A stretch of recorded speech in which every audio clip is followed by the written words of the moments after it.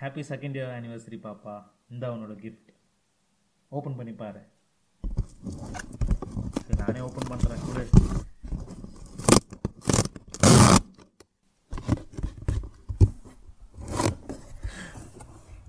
ஐயோ. வா பாப்பா. டிஎஸ்எல்ஆர் என்ன பாப்பா? இவ்வளோ அழகாக இருக்கு. ஐயோ. பா. என்ன அழகாக இருக்கு பாரு. ஆனால் எனக்கு ஒரு டவுட்டு இந்த டிஎஸ்எல்ஆர் எப்படி யூஸ் பண்ணுவோம்? உனக்கு தெரியுமா? எனக்கும் தெரியாது. ஆ ஆனால் அதுக்கு கரெக்டானவன் ஒருத்தன் இருக்கான். அவங்கிட்ட போனால் எல்லாத்தையும் கற்றுக்கலாம் என்னடா பண்ண போகிற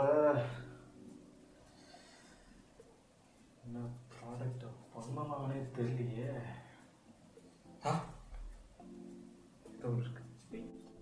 ப்ராடக்ட் கிடைச்சிது ப்ராடக்ட் கிடைச்சிது. இந்த வாரத்துக்கு நான் ரிவ்யூ பண்ணுற ப்ராடக்ட் கிடைச்சிது. ஹலோ நண்பா நண்பிகள் எல்லாரும் எப்படி இருக்கீங்க? Welcome to Black box channel நான் உங்க ராம். ஸோ இன்னைக்கு என்ன ப்ராடக்ட் பற்றி நம்ம பார்க்க போகிறோம் அப்படின்னு பார்த்தீங்கன்னா இந்த ப்ராடக்ட் பற்றி தாங்க. இது சூப்பராக இருக்குது பாருங்க பார்க்கவே. இது ரொம்ப சாஃப்டாக இருக்குது யூஸ் பண்ண. அப்படிலாம் சொன்னோன்னா என்னை செருப்பால் அடிப்பீங்க. ஸோ திங்கட்கிழமை ஆயிடுச்சு. இன்னும் நம்ம எந்த ப்ராடக்ட் ரிவ்யூ பண்ண போகிறோம் அப்படின்னே ஒரு ஒரு ஃபைனலைஸ் பண்ணவே முடியல. ரொம்ப கஷ்டமாக இருக்குது என்னடா இது? இப்படியே போச்சுன்னா நம்ம நிலமை என்ன பண்ணுறது சேனலை இழுத்து மூட வேண்டியதான் போல். கொஞ்சம் ஐடியா இருந்தால் சொல்கிறீங்களா இல்லையா? ஏங்க உங்களை நம்பி தாங்க நானும் சேனலை ஸ்டார்ட் பண்ணேன். ப்ராடக்டே இல்லைங்க. என்னங்க பண்ணுறது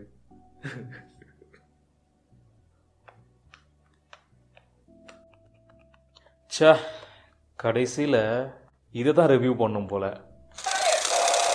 நல்லா சவுண்டு வரும். டின்ட்டுவோட ப்ராடக்ட்டு என் பொண்ணு. ஏதாவது ஒரு யூஸ்ஃபுல்லான ப்ராடக்ட் பண்ணலாம்னு நினச்சேன். முடியாது போல். இதுலேருந்து ஏதாவது ஒரு ஐடியா வருதான்னு பார்ப்போம்? யாரா நீ? ஒரு நிமிஷம். வரான் பாரு வந்து உக்காடுறதுக்கு டேய் உன்னை தாண்டா நீ யாரா யாருன்னு கேக்குறான் அட. நீ தான்டா நான் தெரியல எனக்கு. தெலுங்கு போட டைட்டில் மாதிரி சொல்ற. யாரா நீ? இப்பவும் அதான்டா சொல்றேன். நீ தான்டா ஓ. அந்த டிஎஸ்எல்ஆர் யூஸ் பண்ண தெரியாம உட்காந்துருந்தனே மூணு வருஷத்துக்கு முன்னாடி. அவன் தானா நீ அப்போ நான் தான்டா நீ? புரியுதா? நான் தாங்க அது. இல்ல. இப்போ எதுக்குடா வந்திருக்க? என்ன மேட்ருனா ஒரு டிஎஸ்எல்ஆர் ஒன்று கிஃப்ட் பண்ணேன்டா. ஆனா அது எப்படி யூஸ் பண்ணணும்னே தெரில சரி அதான் கொஞ்சம் சொல்லி தெரியான்னு கேட்கலாம் அட ஓகே விட்றா தலைவா இங்க வந்துட்டல நான் பாத்துக்கிறேன். அப்படி போய் உட்காரு சொல்லித்தரேன். போடே. எக்ஸாக்டாக த்ரீ இயர்ஸ் முன்னாடி என் ஒய்ஃப்க்கு வந்து வெட்டிங் ஆனிவர்சரிக்கு நான் வந்து ஒரு டிஎஸ்எல்ஆர் கிஃப்டாக கொடுத்தேன். அந்த டிஎஸ்எல்ஆர் தான் அது. ஸோ அந்த டிஎஸ்எல்ஆர் கொடுத்த அந்த மோமெண்ட் அந்த எக்ஸாக்ட் மோமெண்ட் தான் எங்கள் லைஃப்பில் ஒரு டேர்னிங் பாயிண்ட் நான் சொல்லுவேன். ஏன்னா அதுக்கப்புறம் நிறைய விஷயங்கள் எனக்கு ஒரு பெரிய ஸ்ட்ரெஸ் ரிலீஃப் பண்ணுற மாதிரியான ஒரு ப்ராடக்டாகவே வந்து டிஎஸ்எல்ஆர் இருந்திருக்கு. ஏன்னா அந்த டைம் த்ரீ இயர்ஸ் முன்னாடி தான் நாங்கள் வந்து யூடியூப் சேனல் ஓப்பன் பண்ணோம் என் ஒய்ஃப்க்கு ஸோ அப்போதுலேருந்து நான் வந்து என் ஒய்ஃபோட சேனலுக்கு நான் தான் ஷூட் பண்ணுறேன் ஷூட் பண்ணும்போதெல்லாம் வந்து ஒவ்வொரு தடவும் வந்து டிஎஸ்எல்ஆர் பற்றி கற்றுக்கிட்டே இருப்பேன். எதில் கற்றுக்கிட்டேன் அப்படின்னு கேட்டிங்கன்னா யூடியூப்பில் தாங்க. நிறைய வீடியோஸ் இருக்குது அவ்வளோ சூப்பர் இன்ஃபர்மேட்டிவான வீடியோஸ்லாம் அதில் நிறையா இருக்குது ஸோ அவ்வளோ இன்ஃபர்மேட்டிவான வீடியோஸ் எல்லாத்தையும் பார்த்து பார்த்து பார்த்து ஒவ்வொரு வீடியோவிலும் நான் கரெக்ட் பண்ணி கரெக்ட் பண்ணி கொஞ்சம் கொஞ்சமாக கற்றுக்கிட்டது தாங்க. இன்னமும் ஃபுல்லாக கற்றுக்கல ஒரு டென் பர்சன்ட் தான் கற்றுருப்பேன் இன்னும் நிறையா இருக்குது டிஎஸ்எல்ஆரில் கற்றுக்க வேண்டியது. ஸோ அதை நான் கண்டிப்பாக கற்றுக்கிட்டே இருப்பேன். அந்த டென் பர்சன்ட் கற்றுக்கிட்டதை உங்ககிட்டயும் நான் ஷேர் பண்ணணும் அப்படின்னு ஆசைப்பட்றேன். ஏன்னா எனக்கு ஹெல்ப் பண்ண அந்த ஒரு டென் பர்சன்ட் விஷயங்கள் உங்களுக்கும் ஹெல்ப் பண்ணலாம். உங்கள் லைஃப்லேயும் வந்து ஒரு பெரிய டேர்னிங் பாயிண்ட்டாக அமையலாம் அப்படின்றதுக்காக தான் இந்த வீடியோ ஸோ நம்ம டைம் வேஸ்ட் பண்ணாமல் டிஎஸ்எல்ஆரோட பேசிக்ஸ் என்னன்றதை பார்த்துடலாம். ஸோ ஃபர்ஸ்ட் டிஎஸ்எல்ஆர் பற்றி என்ன நீங்கள் தெரிஞ்சுக்கணும்னா டிஎஸ்எல்ஆர் அப்படின்னா என்ன?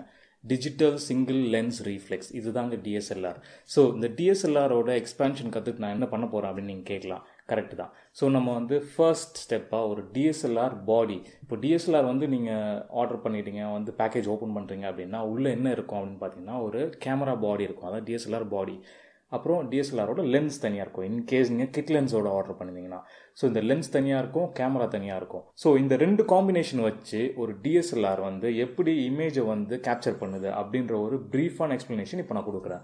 ஸோ இதுதாங்க டிஎஸ்எல்ஆர் பாடி இந்த டிஎஸ்எல்ஆர் பாடியில் பேக் சைடில் பார்த்தீங்க அப்படின்னா ஒரு இமேஜ் சென்சார் இருக்கும்.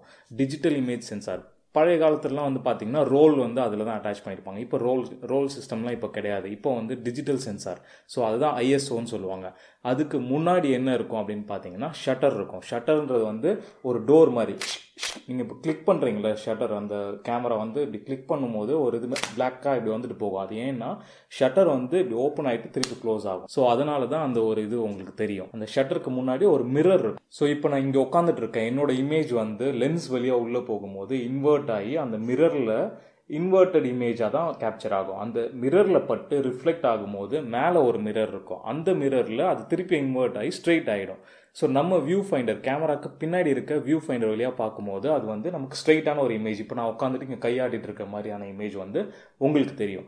ஸோ இப்போ டிஎஸ்எல்ஆர் பாடியில் என்ன இருக்கும் அப்படின்றத பார்த்தாச்சு. இப்போ லென்ஸில் என்ன இருக்கும் அப்படின்னு பார்த்தீங்கன்னா லென்ஸில் வந்து ஃப்ரண்ட் சைடில் கிளாஸ் போர்ஷன் இருக்கும். உள்ளே வந்து கிளாஸ் போர்ஷனை தாண்டினதுமே உள்ளே நீங்கள் பார்த்தீங்கன்னா ஒரு ஓப்பனிங் மாதிரி இருக்கும். அது என்னென்னா அதுதான் வந்து ஆப்பர்ச்சோர் ஆப்பர்ச்சோர் எதுக்கு அப்படின்னு பார்த்தீங்கன்னா அந்த லென்ஸ் வழியாக லைட் எவ்வளோ தூரம் எவ்வளோ அமௌண்ட் ஆஃப் லைட் வந்து உள்ளே என்ட்ரு ஆகலாம் டிஎஸ்எல்ஆர் பாடி உள்ளே அப்படின்னு டிசைட் பண்ணுறது அந்த ஆப்பர்ச்சோர் தாங்க. அந்த ஆப்பர்ச்சோர் எவ்வளோ அளவு பெருசாக இருக்கோ அவ்வளோ அளவு லைட் உள்ளே போகும். இமேஜ் கிளாரிட்டி வந்து நல்லா ஷார்ப்பாக இருக்கும். ஸோ இதை பற்றிலாம் நிறையா உங்ககிட்ட நான் எக்ஸ்பிளைன் பண்ணலாம் பட் இந்த வீடியோ அதுக்கு பத்தாது. இந்த வீடியோ எதுக்குன்னு பார்த்தீங்கன்னா பேசிக்காக என்னென்ன செட்டிங்ஸ் இருக்குது ஒரு டிஎஸ்எல்ஆர் எடுத்திங்கன்னா எப்படி ஆன் பண்ணணும்? என்னென்ன செட்டிங்ஸ் இருக்குது எப்படி நீங்கள் வந்து ஸ்க்ரால் த்ரூ பண்ணணும் எல்லாத்துலேயும்? அப்படின்ற ஒரு வீடியோ தான். ஸோ நம்ம ஃபர்ஸ்ட் அதை பார்த்துடலாம் ஸோ இப்போ ஒரு டிஎஸ்எல்ஆரோட பாடி இருக்குது அதோட லென்ஸும் இருக்குது அதை எப்படி அட்டாச் பண்ணோன்னா இந்த பட்டனை ப்ரெஸ் பண்ணிவிட்டு அந்த லென்ஸில் ரெட் கலரு ஒயிட் கலர் ரெண்டு மார்க்கிங் இருக்கும். இப்போது கேனன் டிஎஸ்எல்ஆர்ஸ் எல்லாத்துலேயுமே வந்து அந்த மார்க்கிங்ஸ் இருக்கும். ஸோ இதில் வந்து ஒயிட் கலர் மார்க்கிங் இருக்குது இப்போ என்னோட லென்ஸில் இதை வந்து நான் அந்த ஒயிட் கலர் மார்க்குக்கு ஏற்ற மாதிரி கரெக்டாக வச்சுட்டு உள்ளே வச்சு இப்படி திருப்பினோம் அந்த கிளிக் சவுண்ட் கேட்குற வரைக்கும் நம்ம திருப்பணும் கிளிக் சவுண்ட் கேட்டுடுச்சு அப்படின்னா லென்ஸ் வந்து கரெக்டாக ஃபிட் ஆகிடுச்சு அப்படின்னு அர்த்தம். ஸோ இப்போ நம்ம லென்ஸை ஃபிட் பண்ணிட்டோம். இப்போ நம்ம கேமராவை ஆன் பண்ணலாம். கேமரா ஆன் பண்ணுறதுக்கு மேலே இருக்க அந்த ரவுண்ட் டயல் இருக்குது பாருங்கள் அதுக்கு பக்கத்தில் ஒரு நாப் இருக்கும். அந்த நாபை நீங்கள் புஷ் பண்ணீங்க அப்படின்னா ஆன் ஆகும். ஸோ அது வந்து ஃபோட்டோகிராஃபி மோடில் இருக்கும். நீங்கள் இன்னும் ஃபர்தராக அதை புஷ் பண்ணீங்க அப்படின்னா வீடியோ மோட்க்கு போயிடும். ஸோ இப்போ அது ஃபோட்டோ மோடில் இருந்தாலும் சரி இல்லை வீடியோ மோடில் இருந்தாலும் சரி நம்ம வந்து ஆப்ஷன்ஸ் என்னன்றதை மட்டும் இப்போ பார்த்துக்கலாம் ஸோ மேலே அந்த டயலில் பார்த்தீங்கன்னா நிறையா மார்க்கிங்ஸ் இருக்கும். இந்த மாதிரி எம் எம்னா மேனுவல் மோடு இப்போ ஏவினா வந்து ஆப்பிச்சோ ப்ரையாரிட்டி அது மாதிரி நிறையா இருக்குது ஸோ இப்போ நீங்கள் வந்து மேக்ரோ மோட் அப்படின்னா கூட நீங்கள் டயல் பண்ணீங்க அப்படின்னா மேக்ரோ மோட் ஒன்று இருக்கும். ஸோ இப்போ ஆட்டோ மோடில் வச்சிங்க அப்படின்னா ஃபுல் அண்ட் ஃபுல் டிஎஸ்எல்ஆர் தான் கண்ட்ரோல் பண்ணும். அந்த வீடியோவோட கிளாரிட்டி ஆகட்டும் லைட்டிங் ஆகட்டும் எக்ஸ்போஷர் ஆகட்டும் எல்லாமே அது கண்ட்ரோல் பண்ணும். அதே இது மேனுவல் மோட்ஸ் இந்த நாலு மோட்ஸ் இருக்குது பாருங்கள் இது எல்லாமே வந்து மேனுவல் மோட்ஸ் இந்த மோட்ஸில் இருக்கும்போது வந்து நம்மளோட கண்ட்ரோல் நம்ம வந்து இந்த சுச்சுவேஷனுக்கு இந்த மாதிரி நம்ம வந்து லைட்டிங் கொண்டு வரலாம். இந்த மாதிரி எக்ஸ்போஷர் இவ்வளோ எக்ஸ்போஸ் பண்ணால் போதும் அப்படின்றதெல்லாம் நம்ம டிசைட் பண்ணலாம். ஸோ இந்த நாலு இதை நீங்கள் மெயினாக கற்றுக்கணும் அப்படின்னு ஆசைப்பட்டீங்கன்னா நீங்கள் வந்து எனக்கு கண்டிப்பாக கீழே கமெண்ட்டில் சொல்லுங்கள் நான் ஒவ்வொரு மோடும் எப்படி நம்ம வந்து மேக்ஸிமமாக யூட்டிலைஸ் பண்ணலாம் அப்படின்றத எக்ஸ்பிளைன் பண்ணி ஒரு வீடியோ போடுறேன். ஸோ இப்போ மேலே இருக்க டயல்ஸ் எல்லாம் பார்த்தாச்சு. முன்னாடி ஒரு பிளாக் கலர் பட்டன் இருக்கும் பாருங்கள் மேலே. அதுதான் வந்து ஷட்டர் பட்டன் அதை ப்ரெஸ் பண்ணால் தான் நீங்கள் வந்து இமேஜ் கேப்சர் பண்ண முடியும். அதாவது இப்போ நீங்கள் ஃபோட்டோ எடுக்கணும்னு முடிவு பண்ணிட்டீங்க. நீங்கள் எடுத்துகிட்டு போயிட்டு என்ன இப்போ உங்கள் சப்ஜெக்டை பார்த்துட்டு அப்படியே ஃபோக்கஸ்லாம் பண்ணிவிட்டு ரெடி ஆகிட்டு அந்த ஷட்டர் பட்டனை ப்ரெஸ் பண்ணால் போதும் இமேஜ் கேப்சர் ஆகும். ஸோ அதோட பர்பஸே அதுதான். ஸோ இப்போ டிஎஸ்எல்ஆர் பேக் சைடில் பார்த்தீங்கன்னா என்னோட கேமராவில் இப்போ கேனன் செவன் ஹண்ட்ரட் டி இது வந்து ஒரு பேசிக் டிஎஸ்எல்ஆர் தான். பட் இந்த டிஎஸ்எல்ஆர் நான் வாங்கினதுக்கு முக்கியமான ரீசன் என்னென்னா இந்த ஃப்ளிப் அவுட் ஸ்க்ரீன் தான். இப்போ இந்த ஃப்ளிப் அவுட் ஸ்க்ரீன் இருக்கிற மாதிரி நான் எதுக்கு இந்த டிஎஸ்எல்ஆர் சூஸ் பண்ணேன்? இப்போ கேனன் செவன் ஹண்ட்ரட் டியில் அது இருக்குது நான் எதுக்கு இதை சூஸ் பண்ணேன் அப்படின்னா இப்போ நம்ம யாருமே இல்லை நமக்கு ஹெல்ப் பண்ண நம்ம மட்டும் தான் இருக்கோம்னா நம்ம வந்து அழகாக கேமரா ஒரு இடத்துல செட் பண்ணிவிட்டு அந்த ஸ்க்ரீனை ஃப்ளிப் பண்ணி நம்மளை பார்க்குற மாதிரி வச்சிட்டோம் அப்படின்னா நம்ம ஃபோக்கஸில் இருக்கோமா நம்ம ஃப்ரேமில் இருக்கோமான்றதை நம்ம அந்த ஸ்க்ரீனை வந்து ஒரு மானிட்டர் மாதிரி யூஸ் பண்ணிக்கலாம். ஸோ நம்ம கரெக்டாக எந்த இடத்துல உட்காரணும் அப்படின்றதெல்லாம் பார்த்துட்டு நம்ம பாட்டு ரெக்கார்ட் பண்ணிட்டு போயிடலாம். ஸோ இது ஒரு பெரிய அட்வான்டேஜ் விலாக் எடுக்கிறவங்க அந்த மாதிரி இருக்கிறவங்களுக்குலாம் இந்த ஃப்ளிப் அவுட் ஸ்க்ரீன் வந்து ரொம்பவே நெசசிட்டி ஸோ அது ஒரு பெரிய ஒரு ட்ரெண்டாகவே ஆயிடுச்சு. இப்போ வர டிஎஸ்எல்ஆர்ஸ் மெஜாரிட்டி வந்து ஃப்ளிப் அவுட் ஸ்க்ரீனோட தான் வருது. அதுவும் கேனன் டிஎஸ்எல்ஆர்ஸ்னால் அது ஒரு பெரிய ப்ளஸ் தான் ஆக்சுவலாக ஸோ அந்த லெஃப்ட் சைடில் டாப் கார்னரில் இருக்கிற மெனு பட்டன் ப்ரெஸ் பண்ணிங்கன்னா அந்த கேமராவோட நூக் அண்ட் கார்னர் எல்லா செட்டிங்ஸும் வந்து நீங்கள் சேஞ்ச் பண்ணலாம். அதில் என்ன செட்டிங் நீங்கள் மாற்றணுமோ எல்லாமே மாற்றிக்கலாம் கஸ்டமைஸ் பண்ணிக்கலாம். ஒவ்வொரு விஷயமும் இருக்குது ஸோ இத்தனை டேப் இருக்குது அதில். ஒவ்வொன்றும் நீங்கள் ஸ்க்ரால் பண்ணி ஒவ்வொன்றும் நீங்கள் வந்து ரிசர்ச் பண்ணலாம். ஸோ பக்கத்தில் இன்ஃபோ பட்டன் இன்ஃபோ பட்டன் வந்து எதுக்கு அப்படின்னு பார்த்தீங்கன்னா அந்த டிஸ்பிளே இருக்குல்ல த்ரீ இன்ச் டிஸ்பிளே அந்த டிஸ்பிளேல வந்து என்னென்ன மாதிரியான இன்ஃபோ நமக்கு தேவை? ஸோ ஷட்டர் ஸ்பீட் என்னன்றது டிஸ்பிளே ஆகணுமா? ஆப்பச்சோர் எவ்வளோ இருக்குது அப்படின்றது டிஸ்பிளே ஆகணுமா? அப்புறம் உங்களோட ஃப்ரேம் ரேட் என்ன? இந்த வீடியோவோட ஃப்ரேம் ரேட் என்ன அப்படின்றது உங்களுக்கு டிஸ்பிளே ஆகணுமா? அந்த மாதிரி ஒவ்வொரு விஷயமும் நிறைய ப்ரொஃபைல்ஸ் இருக்குது வீடியோ ப்ரொஃபைல்ஸ் இருக்குது அந்த வீடியோ ப்ரொஃபைல்ஸ் எல்லாம் என்ன சூஸ் பண்ணியிருக்கீங்கன்றது டிஸ்பிளே ஆகணுமா? எக்ஸ்போஷர் என்ன இருக்குது எல்லாமே டிஸ்பிளே ஆகும். ஸோ அதுக்கு தான் வந்து அந்த இன்ஃபோ பட்டன் ஹிஸ்டோகிராம் மெயினான ஒரு விஷயம் ஹிஸ்டோகிராம் இதை பற்றி ஒரு வீடியோ போடணுனாலும் சொல்லுங்கள் நான் கண்டிப்பாக எனக்கு தெரிஞ்சதை நான் உங்களுக்கு எக்ஸ்பிளைன் பண்ணுவேன். ஸோ இது எல்லாமே வந்து ரொம்ப பேசிக்கான ஒரு விஷயம் ப்ளஸ் ரொம்ப எசென்ஷியலான ஒரு விஷயம். இது எல்லாத்தையுமே நம்ம வந்து ஸ்டெப் பை ஸ்டெப் கற்றுக்கிட்டா மட்டும்தான் டிஎஸ்எல்ஆரோட ஆப்டிமம் பிக்சர் குவாலிட்டியை வந்து நம்ம அட்டைன் பண்ண முடியும். ஸோ ரைட் சைடில் இருக்கிற பட்டன்ஸ் பார்த்தீங்கன்னா எல்லாமே மேனுவல் கண்ட்ரோல்ஸ் தாங்க. எக்ஸ்போஷர் இருக்கும். உங்களுக்கு வந்து ஒயிட் பேலன்ஸ் என்ன இருக்குது அப்படின்றத செட் பண்ணலாம். பிக்சர்ஸை வந்து ஸ்க்ரால் பண்ணி போயிட்டே இருக்கலாம். நீங்கள் வந்து பிக்சர்ஸ் இப்போ என்ன பிக்சர் வந்து கிளிக் பண்ணுறீங்களோ அந்த பிக்சர் எப்படி கரெக்டாக இருக்கா அப்படின்றது அந்த டிஸ்பிளேயில் உங்களுக்கு தெரியும். ஸோ இந்த ப்ளே பட்டன் மாதிரி ஒரு ப்ளே சிம்பிள் ஒன்று இருக்குல்ல அதை நீங்கள் கிளிக் பண்ணிங்கன்னா என்ன பிக்சர் எடுத்தீங்களோ அது வந்து டிஸ்பிளேயில் வரும். ஸோ அதெல்லாம் நீங்கள் பார்த்து உடனே உடனே நீங்கள் வந்து சரி இந்த பிக்சர் நல்லா இல்லை சரி நம்ம கரெக்டான பிக்சர் எடுக்கலாம் அப்படின்றது திருப்பி நீங்கள் ரீஷூட் பண்ணிக்கலாம் வேணும்னா. ஸோ இப்போ அந்த டிஸ்பிளேல நீங்கள் பார்த்தீங்க அப்படின்னா லெஃப்ட் சைடில் டாப் கார்னரில் வந்து கியூன்னு ஒரு சிம்பிள் இருக்கும். அந்த கியூ சிம்பிள் நீங்கள் ப்ரெஸ் பண்ணீங்க அப்படின்னா ஒவ்வொரு மோட்ஸும் வந்து நீங்கள் எடிட் பண்ணலாம். அந்த சைடில் இருக்கிற எல்லா மோட்ஸுமே வந்து டிஸ்பிளே ஆயிருக்கும். ஒவ்வொரு மோடு இப்போ மேலே பார்த்தீங்கன்னா ஃபோக்கஸ் மோட்ஸ் இருக்கும். ஃபோக்கஸ் மோட்ஸில் வந்து மூணோ நாலு டிஃப்ரெண்ட் மோட்ஸ் இருக்கும். அது எல்லாமே நீங்கள் வந்து லைவ் ட்ராக்கிங் இப்போ நான் வந்து என்ன ஃபோக்கஸ் பண்ணிட்டேன் அப்படின்னா என்னை வந்து லாக் பண்ணிவிடும் ஃபோக்கஸை ஃபேஸில் தான் அந்த ஃபோக்கஸ் வந்து நீங்கள் செட் பண்ணியிருப்பீங்க ஸோ ஃபேஸை விட்டு ஃபோக்கஸ் வந்து வெளில போகாது. ஸோ நான் எங்கே போனாலுமே பின்னாடி போனாலும் சரி முன்னாடி வந்தாலும் சரி ஃபோக்கஸ்டாக இருக்கும் கேம் வந்து. ஸோ செகண்ட் வந்து நீங்கள் பார்த்தீங்கன்னா ட்ரைவ் மோட் ட்ரைவ் மோட் வந்து இப்போ ஒரு கிளிக்கு இப்போ ஷட்டர் பட்டன் சொன்னல அதை வச்சு நீங்கள் ஒரு கிளிக் பண்ணிங்கன்னா ஒரு பிக் தான் எடுக்கும். ஒரு பிக்சர் தான் எடுக்கும் ஐ மீன் ஸோ இப்போ அந் அதே இதை நீங்கள் வந்து ஷட்டர் ஸ்பீடை வந்து பர்ஸ்ட் ஸ்பீடு வச்சிங்க அப்படின்னா நிறையா அது விடும் நிறைய எடுத்துகிட்டு போயிட்டே இருக்கும். ஸோ அந்த மாதிரி அந்த கேமராவோட கெப்பாசிட்டி என்னவோ அதை பொறுத்து வந்து உங்களோட பர்ஸ்ட் மோடு வந்து எத்தனை பிக்சர்ஸ் எடுக்க முடியும் அப்படின்றத டிசைட் பண்ணும். ஸோ தேர்டாக பார்த்தீங்க அப்படின்னா பிக்சரோட குவாலிட்டி என்ன? ரா இமேஜ் இருக்கும் ஜேபெக் இருக்கும். ஸோ அந்த மாதிரி different different types of image quality இருக்கும். ஸோ அதை நீங்கள் சூஸ் பண்ணிட்டீங்கன்னா அதை பேஸ் பண்ணி உங்கள் கேமரா வந்து கேப்சர் பண்ணும். ஸோ ஃபோர்த்தாக பார்த்தீங்கன்னா வந்து வீடியோவோட ஃப்ரேம் ரேட் என்ன ரெசல்யூஷன் என்ன அப்படின்றத நீங்கள் சூஸ் பண்ணணும் டென் எயிட்டி பிக்சலா இல்லை ஃபோர் கே கெப்பாசிட்டி இருக்குது உங்கள் கேம்க்குனா அதுவும் டிஸ்பிளே இருக்கும். Four K with thirty frames per செகண்டா இல்லை டுவெண்ட்டி ஃபோர் ஃப்ரேம்ஸ் பர் செகண்டா அப்படின்றத நீங்கள் தான் சூஸ் பண்ணணும். ஸோ அடுத்து ரைட் சைடில் பார்த்தீங்க அப்படின்னா ரைட் சைடில் வந்து ஃபஸ்ட்டு உங்களுக்கு வந்து ஒயிட் பேலன்ஸ் செட் பண்ணுறதுக்கான ஆப்ஷன்ஸ் இருக்கும். ஒயிட் பேலன்ஸ் வந்து ஒவ்வொரு கேமராலையும் வந்து டிஃபால்ட்டாகவே நிறையா ஒயிட் பேலன்ஸ் இருக்குங்க. ஆட்டோ ஒயிட் பேலன்ஸ் இப்போ வந்து ஆட்டோமேட்டிக்காக உங்களோட சென்சாரே வந்து அதாவது கேமராவே வந்து டிசைட் பண்ணிடும். இந்த சுச்சுவேஷனுக்கு இல்லை அவுட்டோரில் எடுக்கிறீங்கன்னா அந்த சுச்சுவேஷனுக்கு இந்த ஒயிட் பேலன்ஸ் இருந்தால் கரெக்டாக இருக்கும்ட்டு ஆட்டோமேட்டிக்காக அது பிக் ஆகும். ஸோ அது வந்து நம்மளோட கண்ட்ரோல் வந்து அந்த அளவுக்கு இருக்காது. கேமரா தான் கண்ட்ரோல் பண்ணும். ஸோ அதே மாதிரி அவுட்டோருக்குன்ட்டு ஒரு ஆப்ஷன் இருக்குது அதை சூஸ் பண்ணிங்கன்னா அவுட்டோர் லைட்டிங்க்கு ஏற்ற மாதிரி நம்மளோட கேமரா வந்து ஆட்டோமேட்டிக்காக அட்ஜஸ்ட் ஆகி அவுட்புட் கொடுக்கும் நம்ம ஒவ்வொரு ஆப்ஷனுக்கும் வந்து ஒவ்வொரு அவுட்புட் நமக்கு கிடைக்கும். ஸோ இந்த ஒயிட் பேலன்ஸ்க்கு கீழே என்ன இருக்கும் பார்த்தீங்கன்னா பிக்சர் ப்ரொஃபைல்ஸ் இருக்குங்க. பிக்சர் ப்ரொஃபைல்ஸ் வந்து இருக்கிறதுல பெஸ்ட்டாக அதாவது ஸ்டாண்டர்ட் இப்போ வந்து அவுட் ஆஃப் த பாக்ஸ் நீங்கள் எடுத்து கேமரா வந்து இமேஜ் கிளிக் பண்ணுறீங்க அப்படின்னா அவுட் ஆஃப் த பாக்ஸ் வந்து எல்லா கேமராலையும் வந்து ஸ்டாண்டர்ட் பிக்சர் ப்ரொஃபைல் தான் இருக்கும். ஸோ ஸ்டாண்டர்ட் அப்படின்னா கொஞ்சம் ஓரளவுக்கு சேச்சுரேட்டடான ஒரு இமேஜ் கிடைக்கும். ஓரளவுக்கு ஷார்ப்னஸான இமேஜ் வந்து கிடைக்கும். ஸோ அந்த மாதிரி தான் செட்டிங் இருக்கும். பேசிக்கான செட்டிங்கில் இருக்கும். ஸோ அந்த வகையில் நீங்கள் பார்த்தீங்க அப்படின்னா கேனன் டிஎஸ்எல்ஆர்ஸ் தான் வந்து ஸ்டாண்டர்ட் பிக்சர் குவாலிட்டியில் பெஸ்ட்டாக வந்து அவுட்புட் கொடுக்கும். சோனியோடு நீங்கள் கம்பேர் பண்ணிக்கலாம் பேனசானிக்கோட கம்பேர் பண்ணலாம். எது கூட கம்பேர் பண்ணாலுமே வந்து கேனனோட கேனன் கொடுக்குற அந்த சேச்சுரேஷன் அந்த ஒரு பஞ்சினஸ் வந்து எதுலேயுமே இருக்காது. பட் அதனால் மிச்ச கேமராஸ் எல்லாமே மொக்கன்னு நான் சொல்ல வரல. அதுலேயும் வந்து மிச்ச பிக்சர் ப்ரொஃபைல்ஸ் நீங்கள் சூஸ் பண்ணிங்கன்னா ஒவ்வொரு இதுவும் ஒரு ஒரு அவுட்புட் கொடுக்கும். ஸோ அதை நீங்கள் தான் சூஸ் பண்ணி எக்ஸ்ப்ளோர் பண்ணிக்கணும். ஸோ இப்போ அது மாதிரி பிக்சர் ப்ரொஃபைல்ஸ் வந்து நிறையா இருக்கும். நீங்களே வந்து யூசர் டிஃபைன்டு பிக்சர் ப்ரொஃபைல் கூட நீங்கள் செட் பண்ணிக்கலாம். அதாவது ஷார்ப்னஸ் எனக்கு வேண்டாம் இந்த இமேஜில் அப்படின்னா ஷார்ப்னஸ் எல்லாமே கம்மி பண்ணிக்கலாம். இல்லை கான்ட்ராஸ்ட் வந்து அதிகமாக இருக்கணும் அப்படின்னு ஆசைப்பட்டீங்கன்னா அதையும் நீங்கள் மாற்றிக்கலாம் ஸோ கீழே பார்த்தீங்கன்னா முக்கியமான மூணு விஷயங்கள் இருக்கும். ISO shutter speed aperture so இந்த மூணு தாங்க மெயினான விஷயம். நீங்கள் வந்து ஐஎஸ்ஓ எப்படி அட்ஜஸ்ட் பண்ணிக்கணும்? ஐஎஸ்ஓ அட்ஜஸ்ட் பண்ணால் என்னென்ன இம்பாக்ட் இருக்கும்? ஆப்பச்சூர் அட்ஜஸ்ட் பண்ணால் என்னென்ன இம்பாக்ட் இருக்கும் உங்களோட இமேஜ் அவுட்புட்டில் அதே மாதிரி ஷட்டர் ஸ்பீடை வந்து அட்ஜஸ்ட் பண்ணீங்க அப்படின்னா உங்களோட இமேஜ் அவுட்புட்டில் என்ன டிஃப்ரென்ஸ் இருக்கும்? அப்படின்றதெல்லாம் நீங்கள் வந்து கற்றுக்கிட்டீங்க அப்படின்னா நீங்கள் வந்து ஒரு டிஎஸ்எல்ஆரை செம்மையாக எக்ஸ்ப்ளோர் பண்ணலாம். நீங்கள் மாஸ்டர் பண்ணிடலாம். ஸோ உங்களுக்கு வந்து ரொம்பவே சேலஞ்சிங்கான ஒரு சுச்சுவேஷன்லாம் கூட நீங்கள் வந்து உங்களை டெஸ்ட் பண்ணிகிட்டே இருக்கலாம். ரொம்ப சூப்பராக இருக்கும். டிஎஸ்எல்ஆர் நீங்கள் வந்து ஸ்டெப் பை ஸ்டெப் கற்றுக்கிட்டீங்க அப்படின்னா. டீட்டெயில்டு எக்ஸ்ப்ளனேஷன் உங்களுக்கு வேணும்னாலும் இந்த போலில் வந்து பார்ட்டிசிபேட் பண்ணி எஸ்ன்னு மட்டும் சூஸ் பண்ணுங்கள் உங்களுக்காக ஒரு வீடியோ கண்டிப்பாக நான் இது ரிலேட்டடாக போடுவேன். ஃபுல் டீட்டெயில்டு வீடியோ உங்களுக்கு நான் போடுவேன். அதை பார்த்து நீங்கள் கண்டிப்பாக அட்லீஸ்ட் ஒரு ஃபிஃப்டி பர்சன்டாவது கற்றுக்க முடியும்.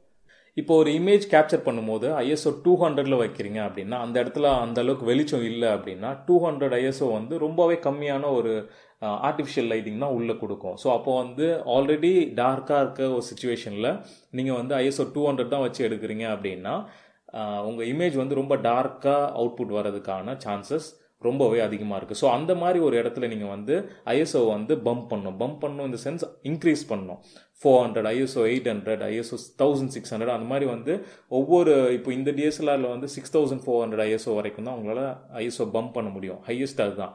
ஸோ கொஞ்சம் ஹை அண்ட் டிஎஸ்எல்ஆர்ஸ்லாம் வந்து ரொம்பவே அதிகமாக இருக்கும். இந்த மாதிரி வந்து ஒரு நாலு மடங்கு அதிகமாக இருக்கும். ஸோ அது வந்து ரொம்ப யூஸ்ஃபுல்லாக இருக்கும். ஒரு லோ லைட் சுச்சுவேஷனில் நீங்கள் நல்ல கிளாரிட்டியான ஒரு இமேஜை வந்து கேப்சர் பண்ணுறதுக்கான சான்சஸ் நிறையாவே இருக்கும். ஸோ அதுக்காக ஒரு லோ லைட் சுச்சுவேஷனில் போயிட்டு நீங்கள் வந்து ஐஎஸ்ஓ வந்து சிக்ஸ் தௌசண்ட் ஃபோர் ஹண்ட்ரடோ இல்லை ஃபிஃப்டி தௌசண்ட்லையோ நீங்கள் வந்து போய் எடுத்துகிட்டா உங்கள் இமேஜ் வந்து நல்ல பிரைட்டாக கிளாரிட்டியாக வரும் அப்படின்னு நினச்சிங்கன்னா அது தப்பு தாங்க ஸோ எப்பவுமே வந்து ஒரு பேலன்ஸ் இருக்கணும். ஐஎஸ்ஓ ஒரு லெவலில் இருக்குது அப்படின்னா ஆப்பச்சோர் ஒரு லெவலில் இருக்கணும். ஆப்பச்சோர் ஒரு லெவலில் இருக்குன்னா இது ரெண்டும் ஒரு லெவலில் இருக்கும்போது உங்களோட ஷட்டர் ஸ்பீடு ஒரு லெவலில் இருக்கணும். ஷட்டர் ஸ்பீடுக்குன்னு ஒரு சில ரூல்ஸ் இருக்குது ஷட்டர் ஸ்பீடு வந்து ஒன் எயிட்டி டிகிரி ரூல்னு ஒன்று சொல்லுவாங்க. எப்படி அப்படின்னா தேர்ட்டி ஃப்ரேம்ஸ் பர் செகண்ட் உங்கள் வீடியோவோட ஃப்ரேம் ரேட் அப்படின்னா உங்களோட ஷட்டர் ஸ்பீடு வந்து அது into two meaning one sixtieth of a second வந்து ஷட்டர் ஸ்பீட் இருக்கணும். அதாவது ஒரு செகண்டுக்கு அந்த ஷட்டர் வந்து சிக்ஸ்டி டைம்ஸ் வந்து ஓப்பன் ஆகி க்ளோஸ் ஆகும். அப்போ எவ்வளோ ஸ்பீடாக இருக்கும் பார்த்துக்கோங்க. ஸோ உங்கள் வீடியோவோட ஃப்ரேம் ரேட் தான் வந்து உங்கள் ஷட்டர் ஸ்பீடை வந்து டிசைட் பண்ணும். So ISO and aperture aperture வந்து நான் ஆல்ரெடி சொன்ன மாதிரி வெளியில் இருக்க லைட்டை எவ்வளோ அளவு எவ்வளோ அமௌண்ட் ஆஃப் லைட் வந்து அந்த லென்ஸ் வழியாக உள்ளே இருக்கிற சென்சாருக்கு அனுப்ப முடியும் அப்படின்றது டிசைட் பண்ணுறது ஆப்பச்சோர் இப்போ எஃப் ஒன் பாயிண்ட் எயிட்டில் வைக்கிறீங்க அப்படின்னா நிறையா லைட் உள்ள அந்த சென்சார் உள்ளே போகுங்க. ஸோ அப்போ நிறையா லைட் போகும்போது வந்து நீங்கள் ஆல்ரெடி அவுட்டோரில் இருக்கிறீங்க. ஒன் பாயிண்ட் எயிட்டில் எடுக்கிறீங்க அப்படின்னா ஓவர் எக்ஸ்போஸ் ஆகிடும் இமேஜ் மீனிங் உங்களுக்கு வந்து ஒரு டீட்டெயிலும் தெரியாது. அப்படியே ஏதோ மில்கி வேக்குள்ளே போன மாதிரி இருக்கும் ஒரு ஃபீலு ஸோ அப்போ நீங்கள் என்ன பண்ணோம் அப்படின்னா உங்கள் எஃப் ஸ்டாப்பை வந்து அதிகப்படுத்திட்டே போகணும். ஸோ ஒன் பாயிண்ட் எயிட்லேருந்து நீங்கள் வந்து டூ கொண்டு வரலாம். டூலேருந்து three three point five four அந்த மாதிரி ஒவ்வொரு லெவல்ஸ்க்கு வந்து ஒவ்வொரு ஸ்டாப்க்கு நீங்கள் வந்து இன்க்ரீஸ் பண்ணிகிட்டே போகலாம். ஸோ எஃப் ஸ்டாப் எவ்வளோ அளவு நீங்கள் இன்க்ரீஸ் பண்ணுறீங்களோ உங்களோட சப்ஜெக்டில் இருக்கிற ஃபோக்கஸ் வந்து அப்படியே ஸ்ப்ரெட் ஆகிட்டே போகும். ஃபார் எக்ஸாம்பிள் எஃப் ஸ்டாப் வந்து எஃப் சிக்ஸ்டீனில் நீங்கள் வைக்கிறீங்க அப்படின்னா இப்போ என்ன ஃபோக்கஸ் பண்ணும்போது நானும் ஃபோக்கஸில் இருப்பேன். என்னோட பேக்ரவுண்டும் வந்து ஆல்மோஸ்ட் ஃபோக்கஸ் இந்த சென்ஸ் லைட்டாக தான் வந்து பிளர் ஆகிருக்கும் மெஜாரிட்டி ஆஃப் த டீட்டெயில்ஸ் வந்து கேப்சர் ஆகும். இது எதுக்கு அப்படின்னு கேட்டிங்கன்னா லேண்ட்ஸ்கேப் ஃபோட்டோகிராஃபி இப்போ நீங்கள் வந்து ஒரு மலை உச்சியில் போயிட்டு இருக்கிற அந்த எல்லா மவுண்டன் செயின்ஸை uh, வந்து நீங்கள் அப்படியே ஒரு ஃபோட்டோ எடுக்கிறீங்க அப்படின்னா நீங்கள் ஒரு பர்டிகுலர் இடத்துல மட்டும் ஃபோக்கஸ் பண்ணி எடுக்கிறீங்க அப்படின்னா மிச்சருக்கெல்லாம் பிளர் ஆகிடும் அப்போ அதுக்கான பாயிண்டே இல்லை. ஸோ நீங்கள் எல்லாமே ஃபோக்கஸில் இருக்கணும் அப்படின்னு தான் பார்ப்பீங்க. அப்போ வந்து f sixteen f twenty two அந்த மாதிரிலாம் எடுத்தால் தான் எல்லாமே டீட்டெயில்டாக கேப்சர் ஆகும். இதே இது போர்ட்ரேட் ஃபோட்டோகிராஃபி இப்போ எல்லாரோட மொபைல் ஃபோன்ஸ்லேயும் வந்து போர்ட்ரேட் ஃபோட்டோகிராஃபின்ட்டு எல்லாருக்குமே வந்துருச்சு. அது என்ன பண்ணுன்றது உங்கள் எல்லாருக்குமே ஆல்ரெடி தெரியும். சப்ஜெக்டை மட்டும் ஃபோக்கஸில் வைக்கும். அதாவது சப்ஜெக்ட்னா இப்போ என்ன மட்டும் ஃபோக்கஸில் வைக்கும் பின்னாடி எல்லாம் பிளர் பண்ணிடும். ஸோ அதுதான் portrait photography so portrait photography எடுக்கும்போது ஆப்வியஸாக உங்களோட எஃப் ஸ்டாப் வந்து ஒன் பாயிண்ட் எயிட் அதோட கம்மியாக இருந்தால் இன்னும் அந்த ப்ளரி எஃபெக்ட் போக்கா எஃபெக்ட் சொல்லுவாங்க. அந்த போக்கா எஃபெக்ட் வந்து சூப்பராக இருக்குங்க. ஸோ அதுதான் உங்களோட லென்ஸ் வந்து எவ்வளோ அளவு எஃப் ஸ்டாப் வந்து கம்மியாக இருக்கோ சரி ஒன் பாயிண்ட் எயிட்லாம் இருக்கோ அந்த அளவுக்கு லைட் வந்து உள்ளே என்ட்ராகும் ஸோ உங்கள் லோ லைட் சுச்சுவேஷனில் கூட உங்கள் இமேஜ் வந்து ஷார்ப்பாக இருக்கும். ஸோ அவ்வளோதாங்க எனக்கு தெரிஞ்ச எல்லா விஷயத்தையுமே உங்ககிட்ட வந்து நான் ஷேர் பண்ணிட்டேன்.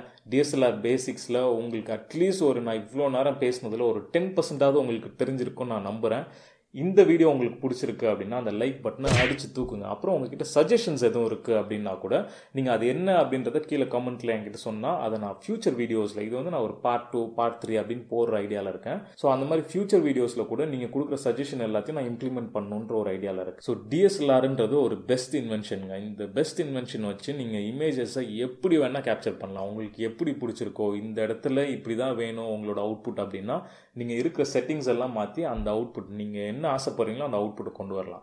ஸோ அவ்வளோ சூப்பரான ஒரு இன்வென்ஷன் இல்லைங்க. ஸோ இந்த இன்வென்ஷனை எப்படி எப்படிலாம் நம்ம கற்றுக்கணுமோ அதை முறையாக கற்றுக்கிட்டோம் அப்படின்னா நீங்கள் வந்து அதோட பெஸ்ட் அவுட்புட்டை வந்து நீங்கள் கொண்டு வரலாம். ஸோ இந்த மாதிரி சீரீஸ் ஆஃப் எபிசோட்ஸ் நான் போட போகிறேன் ஸோ அந்த எல்லா எபிசோட்ஸும் நீங்கள் பாருங்கள் உங்களுக்கு என்ன பிடிச்சிருக்கு பிடிக்கல அப்படின்றத கமெண்ட்டில் சொல்லுங்கள் ஸோ அடுத்து ஒரு இன்ட்ரெஸ்டிங்கான ஒரு வீடியோவோட உங்களை வந்து நான் பார்க்குறேன். அது வரைக்கும் உங்ககிட்ட இருந்து bye from black box Ram. ரொம்ப தூட்டில் இருக்கு லென்ஸு பாய்